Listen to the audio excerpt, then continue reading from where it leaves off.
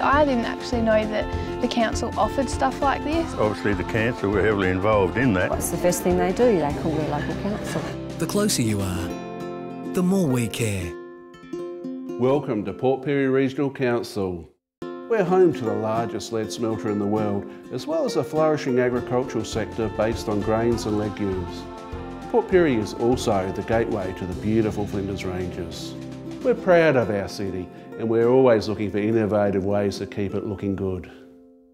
In the past, Port Pirie Regional Council have spent $20,000 a year of ratepayers' money to clean up litter at the boat ramp, beach area and skate park.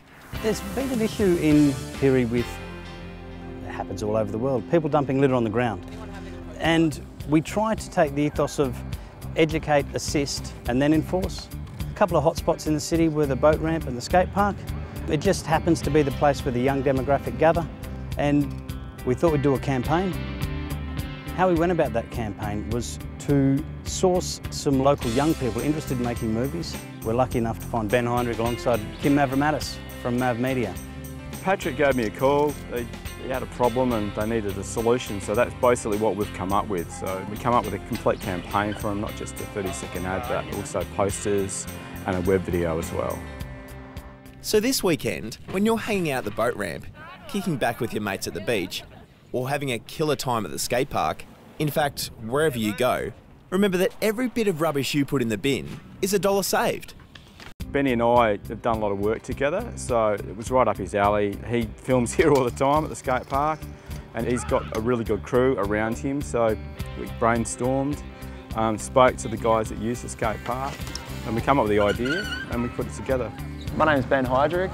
I co-produced and helped film um, the Port Pirie litter campaign ad. I own the bike shop, so I've been working with the guys and the kids for you know about three years now. Got a pretty good relationship with them. Sit down, man. Sit down like how you were before. I ride as well, so we all get on together, and you know, we've got a bit of a pretty good following down there at the shops. We filmed the ad in a day, and we just worked on it that week. Just pumped it out in a few nights. The campaign had a good impact. A lot of people around town watched it. We had a lot of comments from everyone. A lot more kids are finding it cooler to put rubbish in the bin rather than throw it on the ground, especially if it's you know at their skate park, which is put here for them. So you know, they, respect, they respect the place as much as anything else.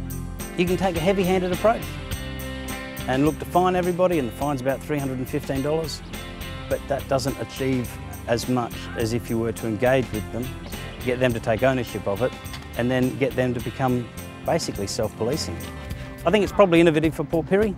I'm glad that the council gave us the opportunity to try it here, and I think it's worked. I think it's a great way for the council to approach it. It's, it's definitely different. It's, it's, good that they've come to us and they've found a good idea to you know involve the younger kids and the bikes and, and get everyone involved in it. And it's just yeah, it's a very creative way. And I'm glad they've come to us to um, put it together. There's nothing cool about littering.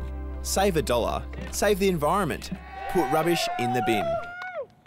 For career opportunities with your local council, visit careersincouncil.sa.gov.au. Councils get close to the things that matter to you.